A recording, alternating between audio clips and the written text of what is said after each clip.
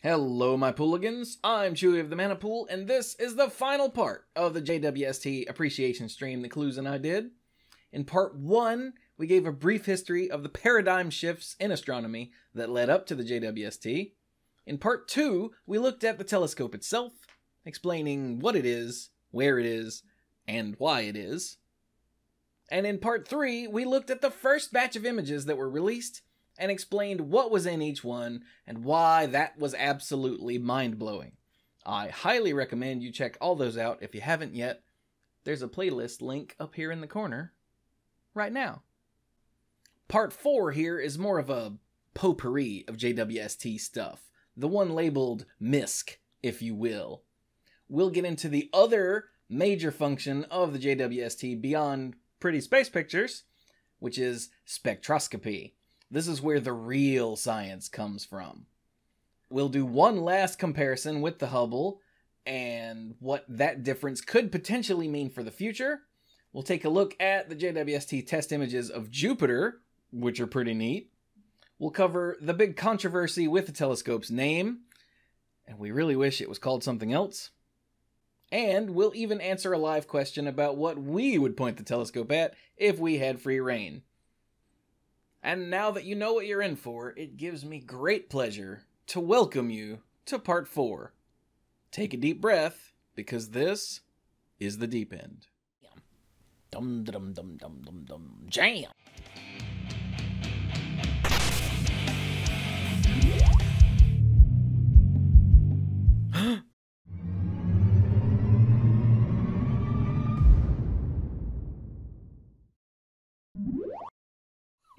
Now, from how much the light that we see from these galaxies, we can look for features in them, we can look for chemical fingerprints in them. And if we look to see how much those specific chemical features have been shifted, how much they've been redshifted, because remember, way back, like an hour ago, hour and a half, hour and 40 minutes ago, um, I mentioned that Hubble noticed that the further something was away from us, or the further something was away from us, the faster it was moving away from us. Mm-hmm. Well, they've done some spectra of some of these little background galaxies that you see deep inside of this image. So if we go to uh, the next image that we have, we have a few spectra of some of those background galaxies. And we use that to try and figure out how far away these things are, the stuff that's been gravitationally lensed. And so what you're seeing on the left is that image that we were just looking at. Mm-hmm. And there are four specific galaxies that they've picked out and they put little boxes around. And then over on the right hand side, they're showing you some chemical fingerprints, and we're seeing how those have been shifted. So, stuff that is a mere 11 billion light years away, you can see features for hydrogen and oxygen. I believe, at least I think that's hydrogen and oxygen that we have there. Yeah, yeah there we go. And if we go to a galaxy that's further away, say 12.6 billion years, uh, 12.6 billion light years away, you'll see those same features are shifted to the right. They're shifted to the red. Yeah. Well, if we keep going forward with this, there is one spot toward the bottom. So go drop to the bottom galaxy for me. Oh, I There's can't. this one There we go. little tiny red dot of a galaxy, Hang on, let me let me turn myself and off. its its There features are shifted so far to the right. That galaxy is 13.1 billion light years away. That means that we're seeing this galaxy as it existed 13.1 billion years ago. Now, here's why that's important. Here's why that's even crazier than you might think it is. We believe the universe to be approximately 13.6 ish billion years old, maybe 13.8, somewhere in there. There's a little bit of argument that I don't want to go into right now, but let's just call it like 13.8 billion light years or billion years old. yeah. This galaxy was formed in the first billion years of the universe. Hang on, let me see if We are looking in this image at one of the earliest galaxies ever formed. right there. That little red smudge. That little red smudge right there is one of the earliest galaxies that was ever formed. So, with astronomy, the further out we're looking, the further back in time we're looking. We are seeing one of the earliest generations of galaxies. This little smudge that you're seeing right there and the spectrum that went with it that we just saw on the other image, in truth, that's really why the JWST was built. That's Yeah. really why we did that. That we needed an instrument that could try and see back to that first generation of stars, that first generation of galaxies, so that we can figure out how the universe came from what it was to what it is. We know what it looks like now because we can look at the stuff nearby. With an instrument like the JWST, we can look at how it was 13 point some billion years ago, uh, and we can try and reconstruct how we think the universe evolved.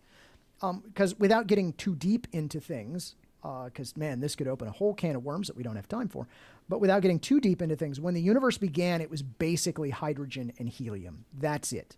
Yeah.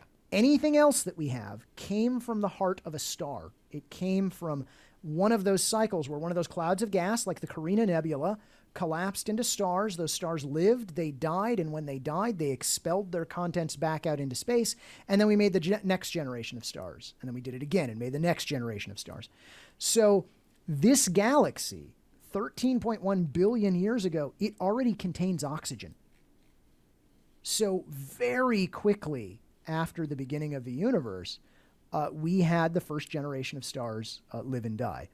Now, again, that's a terrible oversimplification of a lot of things, but we don't have time to get into the you know the the, the, the deep details of all of that. Yeah. The idea But- here is to help everyone understand the scale of things we're talking about here and why this is so incredible.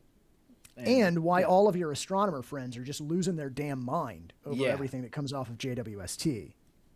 So uh, that's also why we chose to go from the closest stuff out so we could get to this one.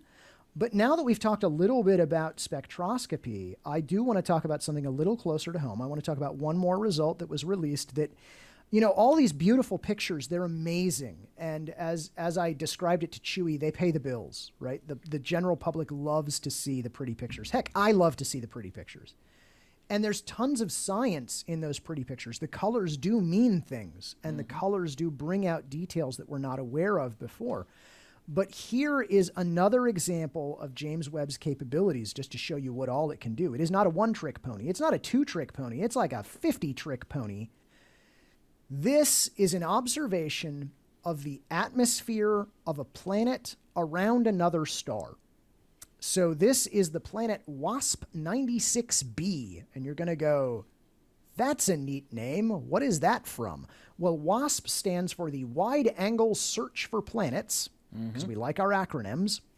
And this particular star that we're looking around is the 96th star in that WASP catalog.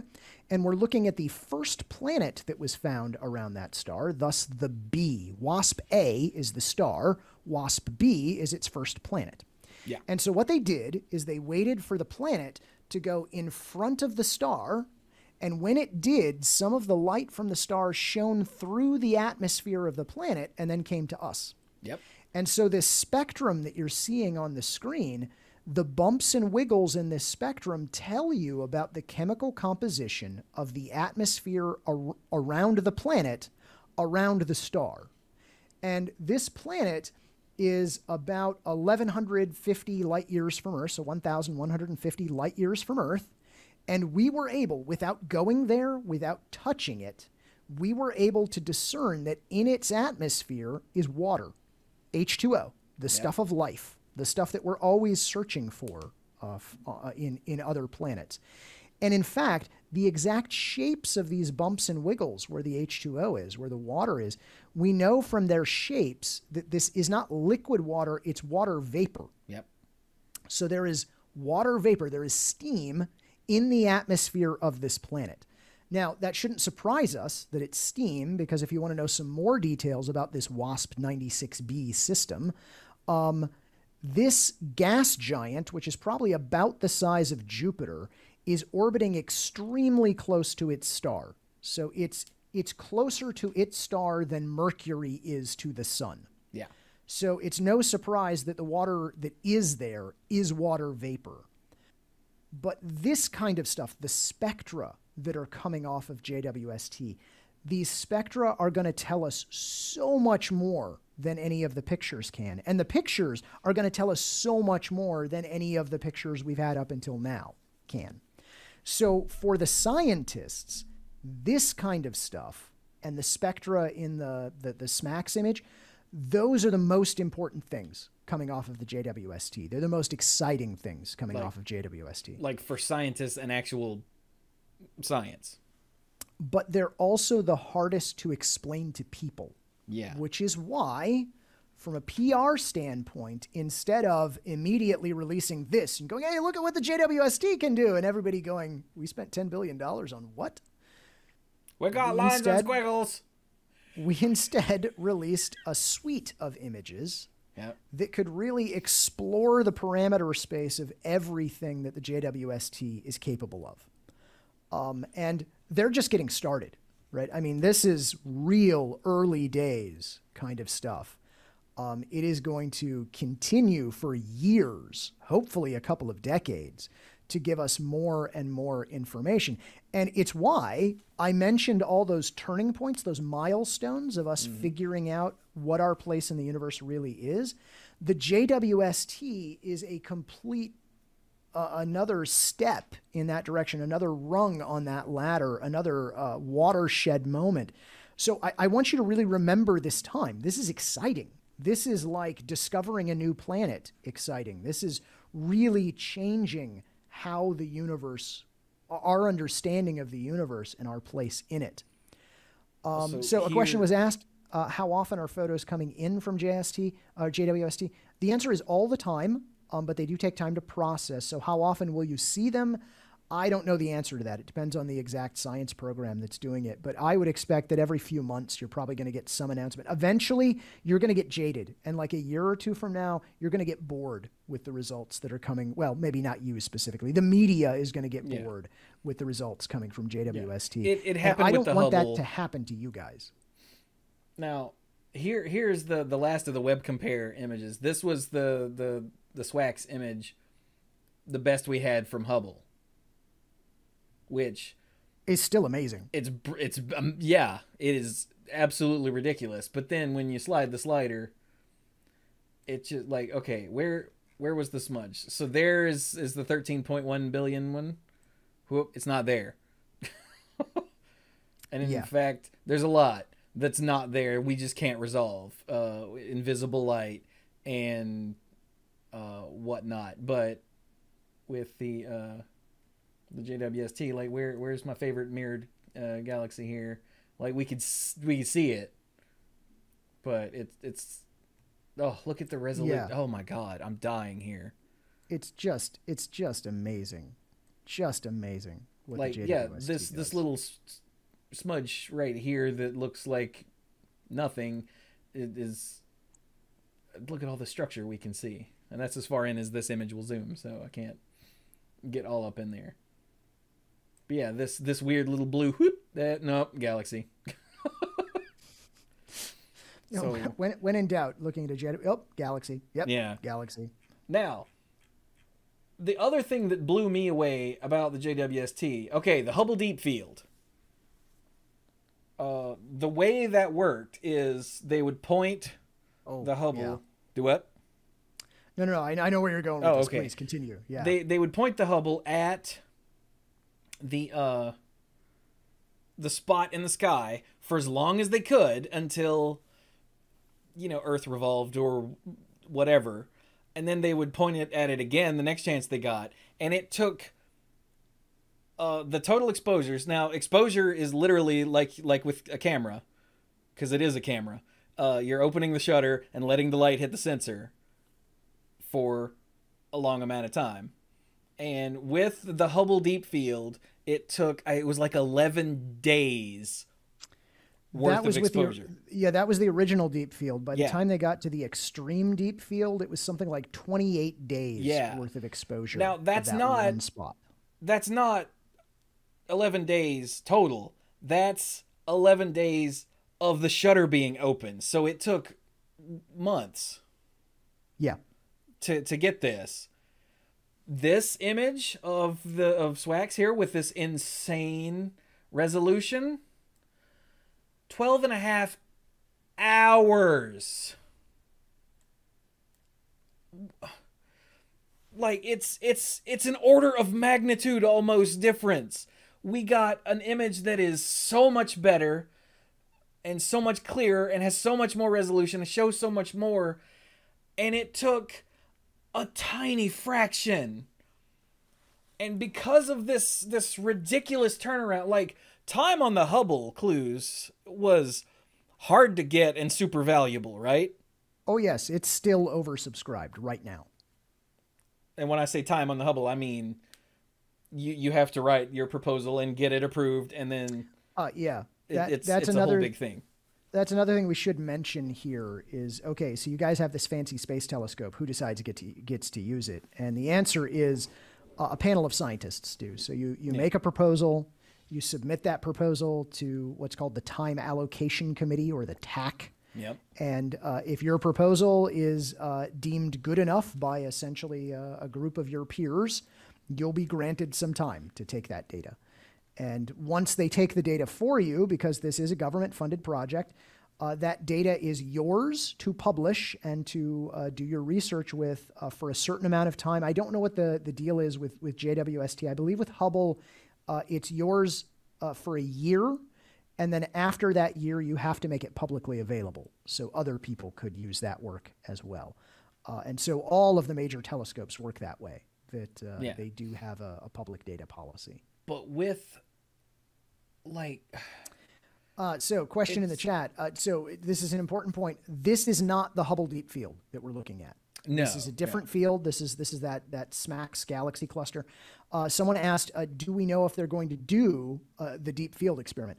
I suspect it's only a matter of time before they do use the JWST to point at the Hubble Deep Field. Um, I don't know that they're in the right position in the sky right now. I don't know this is the right time of year for them to actually hit uh, the, the the deep field field um, because the deep field itself is in the Big Dipper. yeah Um, it's it's actually off off to one spot in the Big Dipper where there's an empty spot in space. But I'm I'm confident that that picture will come. oh yeah Uh, I don't have official word. That is just based on on my my. Uh, it, it's just good pr if nothing else like yeah. like hey you remember the hubble deep field and ultra deep field and extreme deep field look at this and Look it'll blow our minds again Yeah. Oh, Um, and incidentally, here's a fun factoid that I found out just the other day. Um, did you know that on board the JWST, it contains a whopping uh, 68 gig uh, SSD? So basically, the hard drive on the JWST is 68 gigs. That's it. That's all the data capacity that it has. It is roughly a day's worth of observations and then it beams them back during the four and a half hour window that it's aligned with antennas on Earth that we can we can send the data back. And you might ask, why did they put such a crappy hard drive on there? Uh, the answer is they had to build a, a hard drive, an SSD, a, a solid state drive, that they knew would last for 20 years of constant use in space at a crazy low temperature. And so that was the biggest capacity they could make that they were certain would work long enough. also uh radiation Uh, yeah, also radiation. yeah Also radiation. but um, Um, the yeah, okay I have, before uh, before you answer that question let me let me go back Sure. to the the point i was making earlier great, great, great. Yeah. since the the JWST has to put it like a really really inaccurate and stupid way it can see faster. Uh i i'm i'm fully convinced that not only and now i'm stealing this from joe scott i think is his name. Uh i uh, and i when he said that it, it clicked. He's a youtuber. Uh we're gonna have like generations of discoveries from this telescope because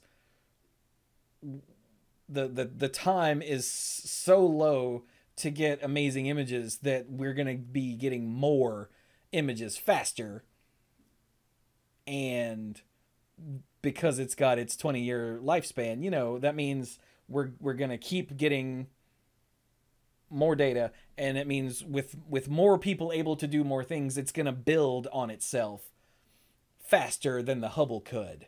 Am I making sense here? Yeah, it's it's essentially it's it's an it's an exponential speed up in Yeah. the rate at which things are going to be discovered. Um, the the other thing I'll say is, and here's the thing that I love so much about astronomy. Some people might find it infuriating, but I absolutely adore it. There are many things I like about astronomy. I'm an astronomer. I'm going to be one when I grow up. I swear, as soon as I actually figure out how to grow up. Um, He's a Toys R Us kid. Astro- hey, Toys R Us is coming back, buddy, or at least so I've been told. But what I've not, not really. Um, here's the thing about astronomy there are things that I learned when I was in undergrad, that I learned when I was in grad school. There are things that I taught to my students just a couple of years ago Yeah. that we're going to discover are wrong. We're going to learn new things. It's going to fundamentally alter our understanding about how the universe operates. And I find that exciting to know that I've been wrong about something for years, to know that the information I had was incomplete and we have learned something more and it's changed our understanding. And I think that that is absolutely amazing. Astronomy is a constantly evolving field, and we learn new things every single day. And that's exciting to me. Now, there was a question that came by earlier about a picture that went viral recently about aurora on Jupiter. I have not seen the viral information about the aurora on Jupiter. Jupiter does have aurora. Um, we're like way over the time we were going to do this, but I just want to throw in there that uh, if we want to look real close to home, uh, JWST, while it was in engineering, did take some images of some nearby stuff, including an asteroid, but also including Jupiter. So here is an infrared image of Jupiter taken by uh, the JWST. And so you're seeing essentially the heat of Jupiter. The, the, the different cloud bands are at different temperatures. In this case, because they're at different depths in Jupiter's atmosphere, which is pretty awesome and pretty sweet. But if you go forward one more image, this is another image uh, taken in a different set of wavelengths. And first of all, the bright thing off to the left, that's one of Jupiter's moons, so one of the Galilean moons of Jupiter. But I want you to look very carefully in the background here. There is a thin ring around Jupiter. Do you see the thin ring there around Jupiter? Jupiter has rings. Now, that's a thing that a lot of people don't know. Uh, A lot of scientists do. Astronomers definitely know it. Yeah. All of the gas giants had rings. We didn't know that they had rings until we sent the Voyager space probes out there that were launched in the 1970s. But we can see them with JWST. Now, notice also this black thing that's here. This black thing that's here is not aliens. This is a defect. This is an error that happened in the image. This is the kind of stuff that they clean up when Yeah. they're combining multiple images Yeah, together. all of this this schmutz here is not on my monitor like I originally thought, and and this black piece here, like you can see, there these black smudges. Whoops, these black smudges are in both images. Yeah, so that's that's fact, on the make out- detector. You can make out the defect in this image too. It's right there. Yeah. So yeah, So the way we fix that is you take multiple images with the the object in slightly different places, and then you combine them after the fact.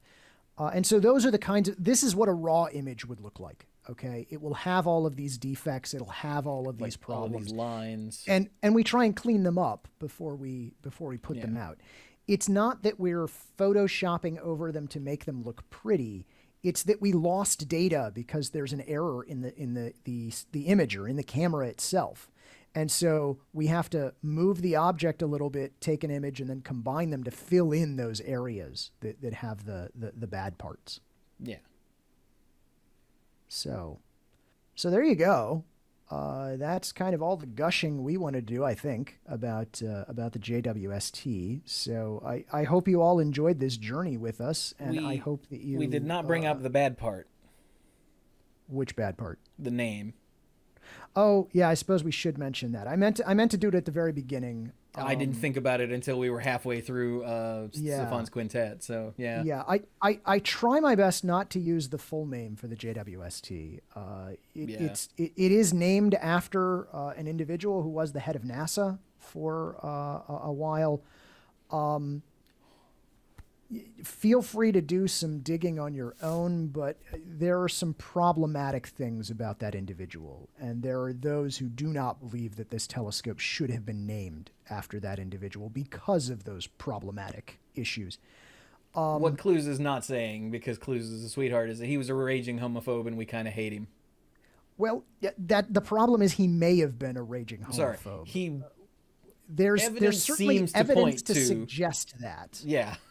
And the real key, the real reason why so many people, myself included, are are kind of upset at the naming, is we don't feel that that the folks who named the telescope, the, the the folks inside of NASA, not NASA as a whole, but the folks inside of NASA who decided to name it that way, uh, they really didn't do their due diligence on choosing that name. They didn't get enough input from the community when they were giving it that name. And when they were challenged on it, they did the most cursory, no, everything is fine sort of investigation. And so uh, there is a movement to try and get it renamed to something else. And uh, I would be happy with that. Uh, I'm happy to go back to the next generation space telescope. That would be Um, cool. That would be just fine. Um, but yeah, uh, it, it would be we would be remiss if we didn't at least mention that that is uh, Like, something to be. That's why, like, I'm I'm tempted to call it the Webb because the name it, it the Webb. It's so it's it's cute. It's quick. You know what I mean. But I don't wanna. Yeah, And so we're stuck with JWST, which does not roll. Despite what Clue says, the more you say it, it does not roll better. well, I, I think it does roll better. It never rolls well. I'm not making that. Oh yeah, okay. I'm just saying that it I, does. I better. recommended the the JWist, but Cluze didn't like that. I kind of like Yeah. it. The new JWist image. It seems nice. It rolls better than JWST. It's not awful. I, I like it. I like it better than I did when I first heard it. Yeah, like That's what I'll say. well, I have seen Joust. No, I've seen Juiced. No, no. But yeah, we would we would be remiss if we did not bring that up. As awful We- as it uh, okay, how, about- how about Webbigail from uh, Webbigail. Ooh, yeah, from Ducktales. ooh. Mike said, "How about J Dub?" Nah, J Dub. J Dub. Did catch that new J Dub single? I mean, image. Just came off.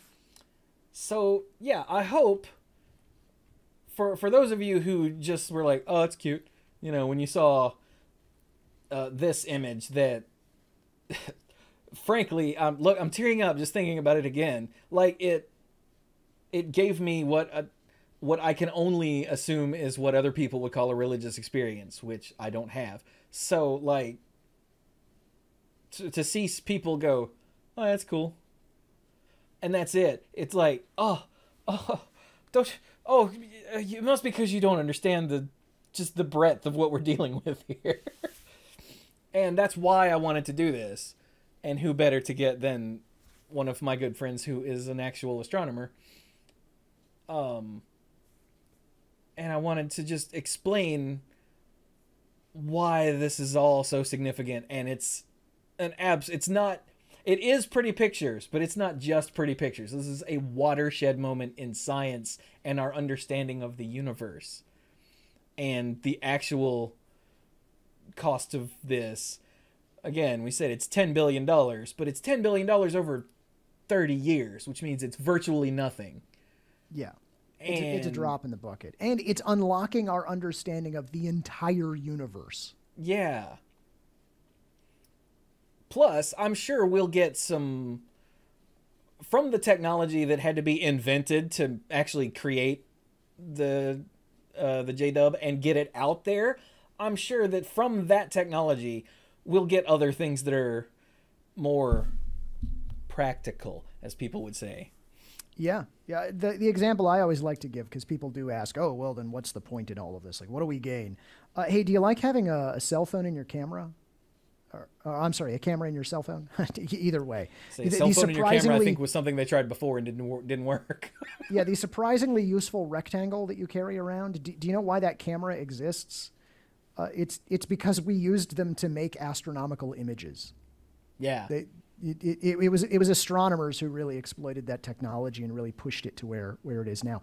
Um, do you like uh, really cheap, really dense storage, like like having you know hundreds of gigabytes on something the size of your fingernail? Yeah. Do you know who really pushes yeah, the envelope the, of data like storage? That that's astronomers. Um, so we we really do push a lot of uh, the edges of what technology is capable of um, as we do these things. So, uh, on the one hand, there's no like direct result of the JWST. It doesn't make your life better today in any way, but the kinds of problems we need to overcome advances technology in ways that, that aren't easy to capture. Uh, oh, a question came up about the cosmological constant. We have not yet resolved that. It is still an ongoing argument. And for those who don't know what I'm talking about, don't worry. I'm sure some JWST uh, results will help us with that. I hope. At, at some I point hope. in the future, surely, right? Uh, yes, and don't call me Shirley. I. As Cluze, I just want to tell you, we're all counting on you. Good luck. I just want to tell you both. Good luck. We're all counting on you. Um, uh, so yeah, I, I, hope I hope that you all learned a little something from uh, from from this yeah. tonight. If nothing else, just a little more appreciation. Anytime you see images like this come along, like even if you're just like, oh, pretty picture, even if you don't know the science behind it, please, please, please, I'm just begging you, like take a minute, just take like take 30 seconds, and look at it and contemplate the hundreds of person hours that went into making that image and the technology that it takes to, to make those images. Uh, there, there's, there's so much that we learn from all of these things. Um, so uh, take time to appreciate the, the, the, the universe that is literally hidden in plain sight, right? It's, it's right there. And if you just have the right instruments and the right understanding, you can unlock the beginnings of everything. Like this little red smudge right here yep. So yeah, that's why the the hashtag, the PR thing that they've been using for the the the J Dub, I really like that. Is uh unfolding the universe because unfolding like the telescope itself had to do while it was going out there, but also that's literally what we're doing is uh, unfolding the universe before our very eyes. And oh, I love it. So yeah, so if you whether you learned anything about the actual astronomy or not is one you know completely irrelevant. But hopefully you you gained an appreciation for what is going on here, which was my entire goal. so yay. Well, Cluze. I love you, my friend. Thank you so much for. Oh, thank you for having me to, the professor. to have this conversation. It's been great. And it's been great. Thank you all for oh there was one more question if you could get uh jwst time yourself what would you point it at yeah see that's the problem i look at stuff that's so much closer than this that this is this is like using uh, uh I don't know, a, a, tank to step on an ant for the kinds of stuff that I do. Uh, so I I do not know. If if I had my druthers, I would use it to to replicate the Hubble Deep Field experiment just just to have that comparison. Um, but so most of my stuff is all uh, galact inside of the galaxy for, for astronomy, and I don't I don't need a gun this big. Oh well, for me then, what I would point it at. Hang on, open image in new tab. I would point it at this. Bah. This is and always has been my favorite galaxy. this do you know what this is, Cluze? I don't remember its name offhand, but uh, this is I, Centaurus A. Yeah, which is NGC five three two eight five two three eight something like that, and it was known as the irregular galaxy for a long, or as the poster child of the irregular galaxies, because like what you're seeing here is not what I saw uh, as as a kid like nope. we didn't have the the resolution for this this jet of uh, stuff here being expelled by. That might be in the foreground. No, I don't think it is. Uh, no, that's that's most likely from the jet. Yeah, uh, there there's probably an active active and, nucleus. And we there. didn't have this. It was just this weird black smudge like when I first saw it. As a matter of fact, hold hold everything. Stand by as we retrieve a worse picture. Yeah. Um I- Is is it on the cover of one of your? Uh... it's an Audubon Society uh, field guide to the night sky. Oh, sure. Okay, here we go. Eh, eh, no, we're still in the M's. Uh, yeah, I, Pinball Witch, I believe the plan is to uh, probably break this up into a couple of videos and post them on YouTube. So uh, Here we go, When, yeah. when they get posted, I'm sure uh, Chewie will let us know. This is what we could get back in the day. This was MG, NGC 5128, sorry. And when I saw this image of a smudge with a bizarre black streak across it, I was like, what is what is the, what is the story here? And this is now one of the better images that we've gotten. And in fact, I can't get it out, but in in my backdrop over here, uh, one year for my birthday, uh, Lex, when we were still together, my, an old girlfriend asked me, "Hey, what's your favorite galaxy?" And I was like, "I don't know, Centaurus A." She's like, "What?" And it turns out why was because there was a guy who had a telescope who would take pictures and frame them for you, and it's back there on my nerd wall behind me, my backdrop.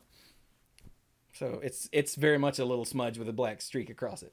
But this is what I would point it at. I want to see what's behind all that dust in the infrared, and I'm sure someone will at some point. So uh, la- last in the chat, uh, last 1031 has asked, will they be able to take an image of the supermassive black hole in the center of our galaxy? I am certain that they will point it at the center of our galaxy. Uh, you need even Oh, yeah. longer wavelengths than this to really get down to the center of our galaxy because there's so much dust and gas between here and there. Um, that is a spot called Sagittarius A star. So, as Pinball Witch points out there, I'm certain that they'll point it there at some point, but our best picture of that black hole is still going to be uh, what was constructed with the Event Horizon telescope that was released, I think, last year. They got the image year, of, year of- of our own. Um, the year Something like before, I think they got uh, M87's black hole because they did that one first. It was actually easier to image a black hole outside of our own galaxy than to image the one inside of our own galaxy because it was a bigger black hole. Um, And actually, now that you brought that up, Chewie, I think what I might actually image if they said, "Hey, Cluze, what can we what can we point the JWST at for you?" I would probably say uh, NGC 5548. Uh, and the reason for that is it is a radio galaxy, it's an active galactic nuclei, and it's what I did my thesis work on. And so I would like a JWST image of that. NGC 5548, yeah. Images. In in most images I've seen, it pretty much just looks like a dot. It is not all that impressive. But I haven't looked lately, so Wait, you said you said 5548, right? 5548, NGC Okay. 5548. Well, apparently they've gotten something much bigger now because Have they got uh, have they gotten better? I'm not sure. Like I said, I haven't looked in a while because this. uh, my thesis was a traumatic experience. So yeah, yeah, there you go. Yeah, this this Okay, is what I'm that's seeing better. now. That's better. Yeah, I'd I'd point the JWST at that. But like you can tell from there's no uh, definition here, and you can see all of the, the fuzzy bits. I'm guessing that this is zoomed in from a much smaller image. Yeah, it, pro- it probably is, and that that's most likely ground based. I don't know if there are any Hubble images of NGC 5548. Oh, okay. Well, yeah, this this doesn't have the Hubble diffraction spike, so you, you're probably right. Yeah, it's it's a relatively obscure radio galaxy. So Nice. so there you go. So there Thank you, go. all for that. That's joining what us that's what we would do. on this journey. So, yeah, thank you all again so very much for joining us. Those of you watching live and those of you watching later on uh, YouTube or in the VOD or whatever. Um, Cluze is at La Cluze, L A C L U Y Z E, huh? Correct. Thank you very much. On Twitter, and I am at the Mana Pool, of course. Uh, feel free to throw any questions you have at us there, or you can join the Discord and ask there, because I live in the Discord because it's my Discord and uh, if it's an answer a question I can't answer, I will poke Cluze and get him to come in and answer it. I will do my best. Yeah. So with that, we will be done. We hope that we have helped unfold the universe for you just a little bit. Uh, thank you all so very much for joining us. Hey, there's the Lego Star Destroyer thing. Uh, thank you all so very much for joining us, and uh, go look up. Yeah. And that was it. How'd you like it? Cluze and I were really excited to share our passion with a large audience, so we really hope you enjoyed it. And hey, maybe you learned something. If not some of the more technical stuff about astronomy, the hope is that you now understand why all your space fan friends are consistently freaking out about the JWST and the images that get shown. There's a lot more to it than just the pretty space pictures, though they are really pretty. So that's it for the opening salvo of The Deep End. Please leave your complimentary arm floaties in the bin as you exit. And before you leave, be sure to subscribe because this is where the real game begins, as the kids don't actually say. Now that the JWST stream is done, I'm going to be using the deep end for scripted video essay types of things. Uh, for instance, the first one I have planned is a defense of the Legend of Zelda cartoon. Yes, that one. And hey, if you want to see it before anyone else and point out problems that I need to fix before it goes public, head over to patreon.com slash the manapool and become a lifeguard. And with that, we're done. I've been Chewie, waving and drowning, and this has been The Deep End. Thank you all so very much for watching, and uh, keep looking up.